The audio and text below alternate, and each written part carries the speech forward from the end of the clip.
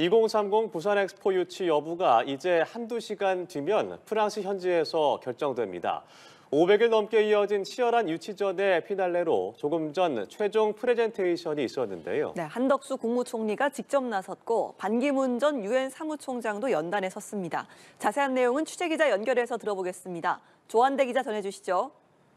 네, 2030 엑스포 개최지를 결정짓는 세계 박람회 기구 BIE 회원국들의 최종 투표가 잠시 후 시작됩니다.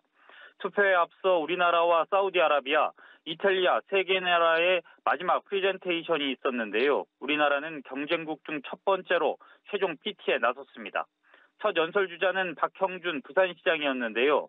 박 시장은 부산시 캐릭터인 부기와 또 부산에 거주하는 외국인 청년으로 구성된 글로벌 서포터즈 5명과 함께 무대에 올라 부산의 매력을 소개했습니다. 이어 나승현 부산 엑스포 홍보대사가 인류 미래를 위한 부산 엑스포의 핵심 비전과 한국의 차별화된 강점을 소개했습니다. 민간 공동위원장인 최태원 대한상의 회장도 연설자로 나섰는데요.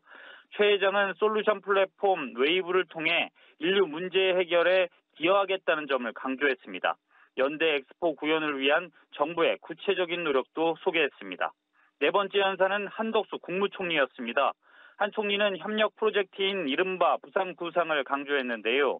전 세계를 대상으로 맞춤형 지원을 해나가고 있다며 아프리카 10개 국가 맺은 K쌀 벨트 프로젝트, 17개 태평양 섬 국가와 맺은 K오션 경제연합 등을 소개했습니다. 한 총리의 연설 후에는 한국전쟁에 참전한 한 외국인 노병의 부산 엑스포 응원 연설이 나와 감동을 더했습니다.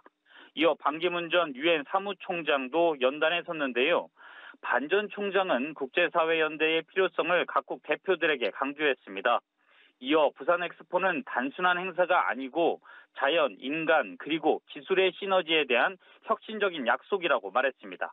마지막으로 다시 연단에 선 나승현 홍보대사는 한국은 약속을 지키는 국가라며 부산에선 연대 엑스포가 열릴 거라고 강조했습니다. 이제 잠시 후면 최종 투표가 진행될 텐데요.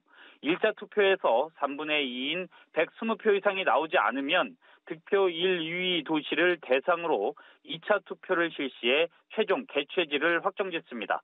지금까지 보도국에서 전해드렸습니다.